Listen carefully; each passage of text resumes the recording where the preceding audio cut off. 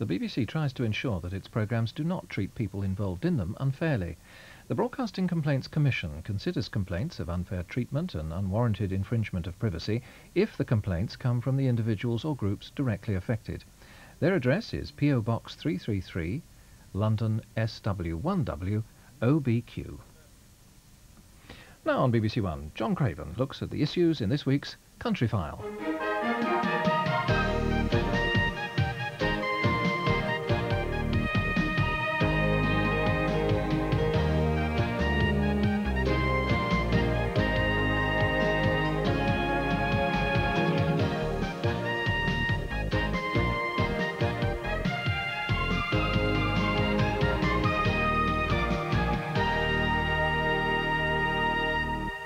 This calf is just over a week old, and like a lot of human babies, he's been having tummy trouble.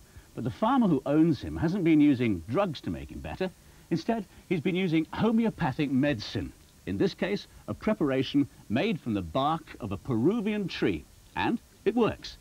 Tonight on Countryfile, we examine the growing popularity of so-called complementary medicines in the treatment of animals. And also on the programme, Catching the Poachers, the row over who should pay to protect our salmon rivers.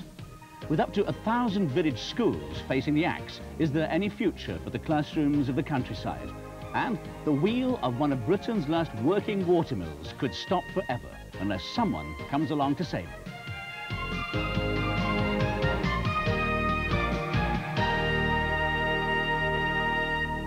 Every farm animal has to pay its way. If one of these cows is taken ill, well, it's got to be made better again as soon as possible. Otherwise, it's losing money. But these days, there's increasing interest in alternative ways of treating animals, other than simply relying on the vet with his drugs. Michael Colley has been investigating. A true picture of rural harmony, ram and dog working together. But beneath the surface, all is not quite as it might seem, because the ram has got lower back problems. And that's a drawback when you're a bit of a stud. As far as the dog goes, well, he's got muscular tension. Life can be very hard when you're a collie. But today, both the dog and the ram have got an appointment with an osteopath. Tony Nevin manipulates people and animals, in particular their muscles and bones. This ram, worth several thousands of pounds, has strained his mid-lumbar region, which is affecting his ability to mount. They live up to their names. They're always battering into things, so their, their necks are dirty, great big shock absorbers. Would you describe this as sort of alternative medicine, alternative veterinary care? No, it's complementary because we work, we work with the vet. For legal purposes, we have to work with a vet, whether it be a ram, a cat, a dog, a bird, anything. Now, at the end of a session on this ram, what will you have achieved? Reduce the muscle tension, allow the joints to have their normal spacing, therefore allow the joints to move as they should, right from top to bottom, as a snake moves. The ram is definitely fitter and, you know, looking a lot better. And, you know, hopefully this season we'll be able to use him again. The collie also enjoys Tony's visits. Well, the vet's isolated a problem in the shoulder girdle, just generalised tension, and he felt it wasn't really applicable to use drugs on this dog.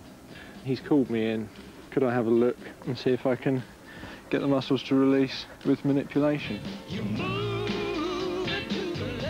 You're working on stretching the muscles and, and getting them to just relax off, just gently relax off. Unconventional though all this is, the British Veterinary Association welcome complementary treatments as additional tools in the vet's armoury. Tony Nevin's local vet not only approves, but personally carries out homeopathy and acupuncture. The uh, acupuncture is very useful on arthritic conditions. That's primarily what we use the acupuncture for. Um, the homeopathy is probably most used, I think, on behavioural things, uh, skin problems, and quite a few different acute diseases like cystitis. And we've used it on road accidents, diarrheas, vomitings, all sorts of things like that. And Nick Burton coming in to the Diamonds, and he is another one who's taking on the corners. The 1993 badminton horse trials. Nick Burton on his 10-year-old eventer, Bertie Blunt. In this sport, technique is crucial, and in the preparation for a major event, one particular technique stands out. Known as the Alexander technique, it usually has nothing to do with horse riding. Well, I know normally it's something that's used in people more than ever in horses, but I found it very helpful with this horse because he was quite stiff and quite crooked in his work, and I found that he was able to move freely forwards and far more supple and more connected in all of his dressage work. Whereas osteopathy involves manipulating the body, Alexander technique is all about encouraging the correct use of muscles by redistributing the muscle tension. I'm just getting him to tune into my hands a little bit. So I'm watching the eye, because that is going to govern if he's, his attention is on me or not. And sometimes you do get a little bit of twitching as a muscle starts to release. I'm using my hands in such a way as to encourage a change in his coordination so that he begins to use his body in a way which is going to cause him less stress and less effort and therefore he can use himself much more to his full potential in a way that is more natural to him and was more natural to him before the weight of the rider disturbed his balance and coordination. But are people a little sceptical when you first suggest it to them? Oh yes, they, they wonder what I'm actually doing. But then they see the results in their horse and, and then they're sold. We have to look at every technique that we can use to improve the performance. We can no longer treat horses with drugs during competition because that is now illegal. Uh, and with the Alexander technique, you're working on the balance of head and neck to the spine, and when the horse jumps, it uses its head and neck to balance it, so that all the musculature will work in a nice pattern and produce a good jump. So, horses, dogs, sheep, all benefiting, it appears, from alternative veterinary care. But we've come back to the surgery now because right now, in there, Tony Nevin, the osteopath, has been brought a wild animal to deal with. This badger was savaged by terriers and has been brought in, rescued. So they um, were actually sent into its sett? Yeah. Mending the damage to the badger's back legs will take many months. Hidden away here in this quiet back room is proof that complementary medicine can now be offered to even the most unlikely patients. It's giving you a great sense of pleasure to be able to do this. Yes, it is. It's great. No amount of money could uh, reward you for, the, for doing this sort of work. Looks like she's... Complementary medicine for badgers and for other creatures of the countryside. And now let's get up to date with this week's rural news.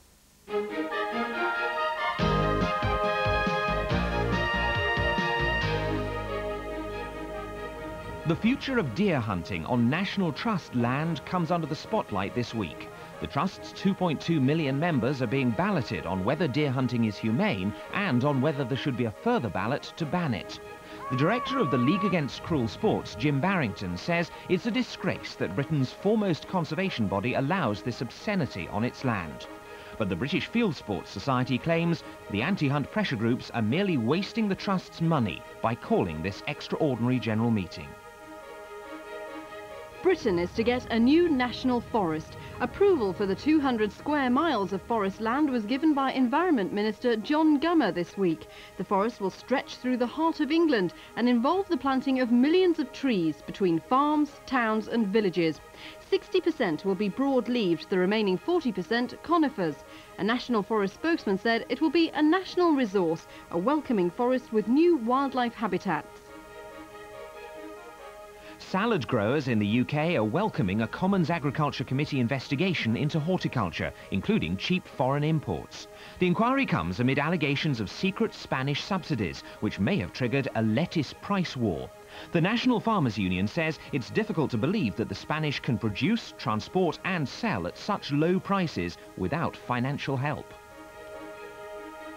There are to be new guidelines for the use of thatch from research funded by the Department of the Environment. The study will look at the potential of thatch for new buildings and cover developments in fire safety. The National Council of Master Thatchers Association says we want national guidelines that will encourage the thatching of new buildings. But Dorset Fire Brigade says too many thatched roofs together could present a risk. One of the favourite characters in country folklore is the old-time poacher, a kind of Robin Hood figure who took from the rich to feed the poor. But those days are long gone. Today's poacher is more likely to be a hardened criminal who'll use nets and gaffs and poison and even sometimes explosive to plunder the salmon. Policing the poachers costs almost £5 million a year and the government is anxious to reduce that bill. But would that then open the floodgates to the poachers? Rupert Segar has this report. The limited number of fish available, without control, very soon they'd all disappear. If they had a free rein, there would be nets, all sorts of poaching up and down the river, and the fish just wouldn't return to spawn. Some people like me, there wouldn't be any bailiffs. Some keeping them on a job. The angler, the bailiff, the poacher and the law, a mixture that's caused strife for generations. Today, however, both sides are highly organised. Water bailiffs employed by the National Rivers Authority look more like soldiers as they go out on night patrol. Unlike Britain's armed forces, the bailiffs' jobs are under threat because of government cuts. Night after night, the bailiffs are out trying to protect the country's rivers and fish stocks. How oh, will you read, Neil, over? Yeah, go ahead, Alistair. Over. This is the River Tyne at Hexham. Now, this is possibly one of the best salmon fishing rivers in England and one of the best places to catch poachers. Using army-issue night sights, the bailiffs scan the river, hoping to catch the criminals in the act. Yeah, we've got uh, one guy on the opposite bank to us who's uh, just walked out with the buses and standing on the riverside. We think there's another guy in the buses as well. Right, right, no problem. Stand by. One radio call and an arrest team begins to move in. Such military efficiency may seem over the top, but it's necessary. The poachers we're dealing with today are usually related or have close links with the criminal fraternity. Uh, I'm talking about people who are involved in ram raids, uh, armed robberies, um, burglaries, twocking that's taken without owner's consent. Uh, poaching's just another facet to the criminal side.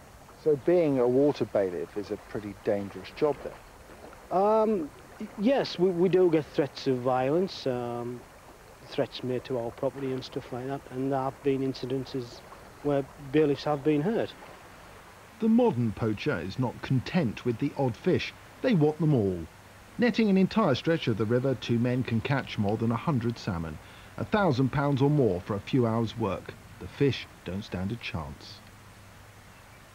This self-confessed poacher may be thought of by some as a romantic figure, but for Keith Hall, poaching is simply a business. So good, the Inland Revenue sent him a bill for £30,000 in back taxes. They don't care that poaching is illegal, nor does Keith. I'm not really interested in justifying it to anybody else. I can justify it to myself. And I don't believe that the fish belong to any other person until they're caught. So... But if you're catching them in someone else's river or off someone else's riverbank, is that wrong? What? But uh, that river doesn't belong to anybody as far as I'm concerned. I don't consider it belong to anybody. What belongs to them? It can't be that water, because that water's gone that way. I mean, is it their water? I just know. Whose water is it in two minutes' time? Because that water's gone down the way. It's moving. What does it own? They own the riverbed. The only reason that they're interested in owning the riverbed is because they can make money at the selling the sporting rights for the salmon. If the sporting rights for salmon was valueless, they wouldn't be interested in this river. Illegally caught salmon like this are uncovered all too often in restaurants and shops. During 1993, there were more than 300 successful prosecutions for poaching from rivers. But poaching is not stealing if the fish are wild. The offence comes in the way it's done. The law-abiding angler buys a licence for £45 a year and also pays the owner of the fishing rights. Poachers are unlicensed and cash in at the angler's expense. That's what annoys me, that the poacher's getting money for it. Money for taking the fish. We don't look at it as poaching now, we look at it as theft. It's not theft in law, though, is it? It's not theft in law, no. Perhaps it should be. The question is, who should pay for the policing of our rivers, streams and lakes? All those water bailiffs, it's an expensive business. In England and Wales, the NRA spend between four and five million pounds a year trying to prevent poaching. Now, most of that money comes not from anglers, but from the general taxpayer. But not for long. Government grants have already been reduced by 30%. and more cuts are expected. Some bailiffs may have to go, leaving rivers and the fish for the poachers. Well, now with the weekend in mind, let's find out what the weather's going to be like. Here's the Countryfile forecast. Our weatherman tonight is John Ketley.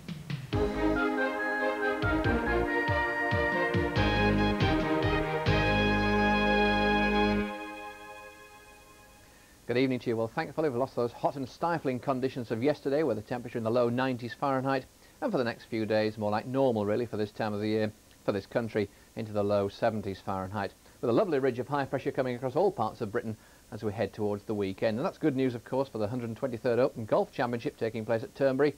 It starts tomorrow in bright weather. It finishes in the rain. But sadly, it will be rather difficult uh, playing later in the afternoon. But later on, I think we're going to find a good deal of sunshine coming through during Friday and Saturday. I think then temperature up to 20 degrees once again. And the wind's never really much of a problem. Lots of sunshine. But later on Sunday, perhaps, towards the end of the round, I think we're going to see a little bit more rain returning from the west. Well, there's the chart for Thursday then. We can see a little ridge of high pressure across the country and this next weather system rolling into far western parts as the day goes on. In fact, later on tomorrow we'll find a band of cloud and occasional rain pushing south across northern England and down fringing the Irish Sea into much of Wales and the far southwest, in fact, by midnight tomorrow night. But plenty of sunshine during the morning, that cloud rolling in later on, and just the chance of a shower in this southeastern corner, but most places even here will stay dry. Temperatures tomorrow up to 22 to 25 degrees across many central parts of the country, rather cooler and breezy up in the west of Scotland.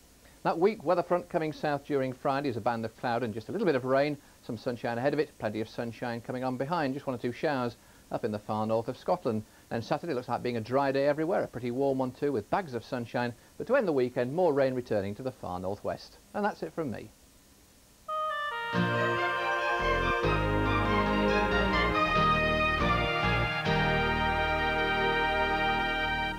When term comes to an end next Thursday here at Grendon Village School in Warwickshire, that will be the end of lessons forever, because after 123 years, this school is being closed down. And another 1,000 village schools all over the country face the axe under government cutbacks.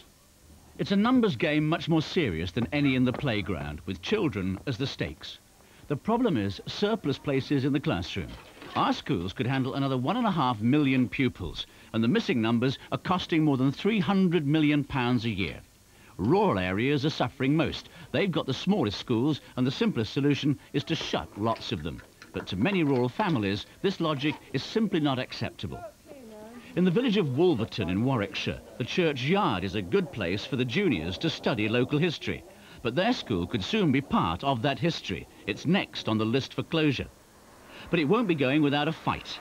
Parents of the 60 juniors and infants are mounting a passionate protest, arguing that closing the school will tear out a vital element of village life. Last week, angry parents confronted local politicians. Oh, Small good school here that we could send our children to, and now we discover that we've got to get them somewhere else. The choice you're giving them is to go on a bus or in a taxi. And I taught for eight years in a school in Warwickshire where the children went to school on a bus. I wouldn't have a five-year-old mine going on a bus or in a taxi. Here, here. Put forward this front that this consultation is to consult the parents of the school about their school, and yet they failed to give a single answer to a, to a number of very direct questions. Well, in Warwickshire, we have uh, one in every five of our school places is empty. And we're faced with a difficult choice of deciding whether to spend our money on empty school places or on the education of children. The County Council has taken a decision to reduce the empty school places by just 30% and to plough that money back into children's education. By the turn of the century, very few counties will have any surplus places, even if we took no more places out now. And of course, soon somebody is going to say, let's give all children nursery education, and if you don't keep the places, you won't have anywhere to put the nursery children. The future of Wolverton School will be announced in September. If it does close, the saving will be just £20,000 a year. So what can parents do if they want to keep their children's education within their community? One option is to run the schools themselves. In most cases, success has been short-lived, but there are a few happy endings. Eight years ago, this village school at Ticknall in Derbyshire was closed down, but the parents took over and now it's thriving. Almost 60 children attend what's now become an independent, non-fee paying, person-centred cooperative. But it's still very much the village school. Grace, would you like to buy those two bananas? There's a fortunate combination of teachers who passionately oh. believe in small schools and parents who've been prepared to do much more than just a school run and occasional fundraising. Some help with the teaching, while every parent contributes in some way towards the £45,000 a year which the school needs to keep going. They even run a craft shop at the local stately home, and all the profits go to the school. Parents organise a rota to work for nothing behind the counter. We do it because we want to be involved. We want to be involved with the children and we want to know what they're doing. And to be honest, the only way that we can run the school is by having the shop and being involved. Though many country people regard it as nothing short of a scandal that parents should be forced to pay out to keep a village school going, this one is thriving despite all odds. It's a very carefully worked out education, which we do with the backing of a large number of educationists and is centered on the individual child and the needs of that child. And the second thing is enormous determination and hard work by the parents. A few miles away, along similar lines, is another pioneering school keeping education within a village. Willington Secondary School has only 13 pupils and wants to set up a chain of small schools linked together to share facilities. For most children, there's no choice but to be driven to the nearest bigger and usually urban school when their little village school closes down. To many politicians and administrators, it's the sensible solution. Well, that would be an urban view. Uh, and the problem with uh, schools in the countryside is that they have suffered since the war from that view of urban scale. And the simple answer that a countryman would give you is that when they look around them, then about the only state expenditure they can reasonably expect is upon their village school. Uh, and they would argue that there is no street lighting and so on and so forth, and that is their one return upon their taxes.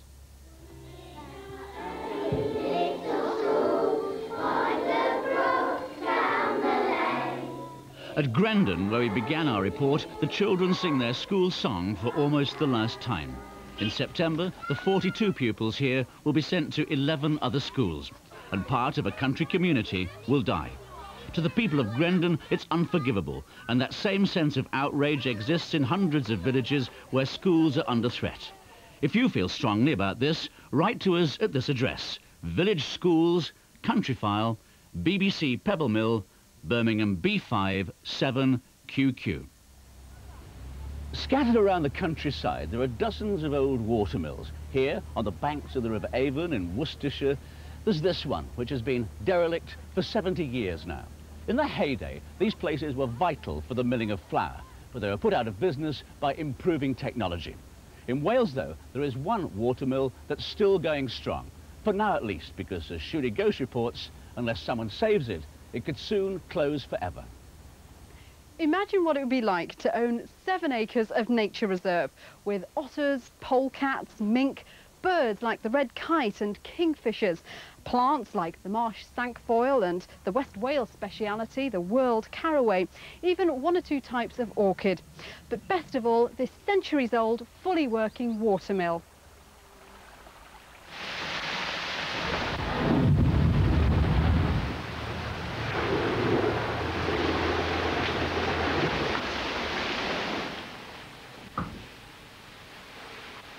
You'd think that having a place like this would be like owning a gold mine. By turning it into a tourist attraction with a tea room and landscaped gardens, it would attract swarms of paying visitors.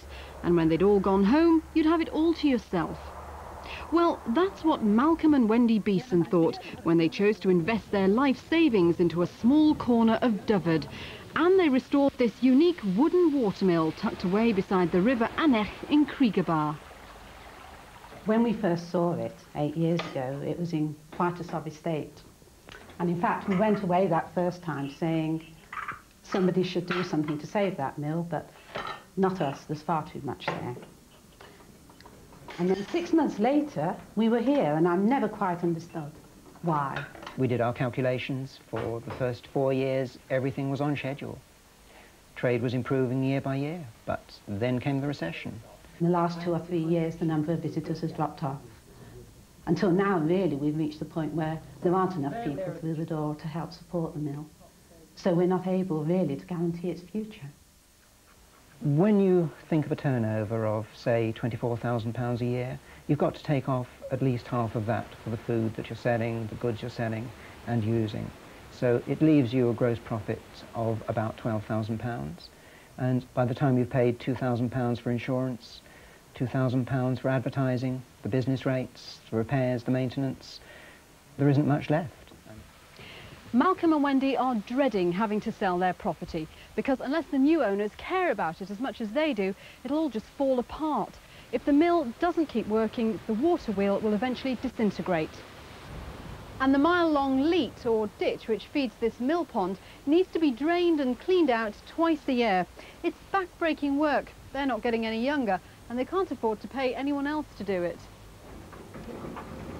Felin Newydd is a very exciting mill for two reasons, its age and its completeness. The Romans were certainly here and from my point of view as a specialist the exciting thing is that a lot of it is very early millwrighting practice. If you have a look around, you can see that the whole thing is built of timber. If you look down here, you can see the wooden shaft for the water wheel. In latter years, they made them of cast iron, but here we are, we have an early wooden one. If Felin Newydd closed down, I think we would have lost a very early, complete and very interesting millwrighting practice.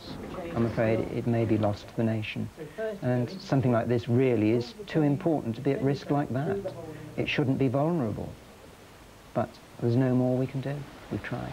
It would be nice to think that my grandchildren and their grandchildren even could come and see this. It's something that's unique in, in Wales, within our part of Wales anyway.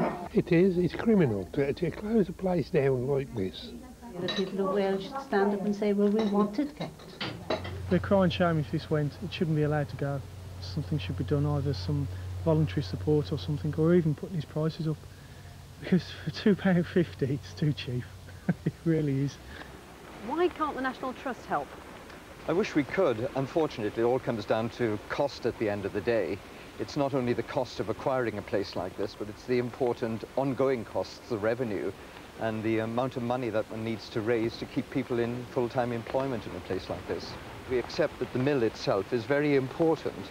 But of course, there have been a lot of changes. Indeed, before Malcolm and Wendy took the property over, there'd been a lot of changes. So possibly the historic integrity of the place has somewhat been uh, blurred and smudged as well.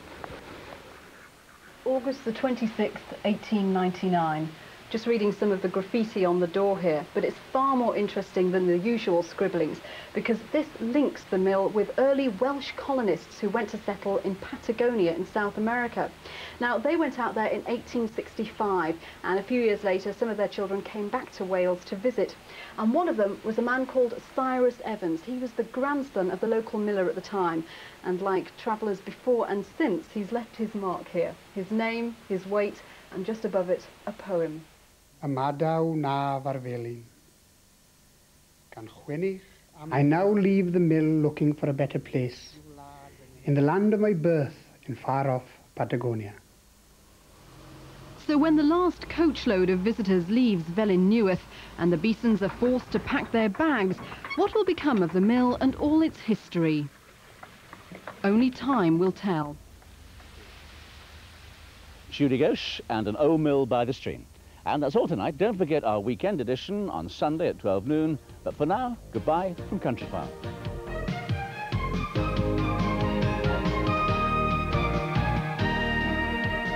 More than 50 years ago, with Hitler threatening to invade, this man was an undercover agent in a resistance network of farmers, gamekeepers and other country people set up on the orders of Churchill.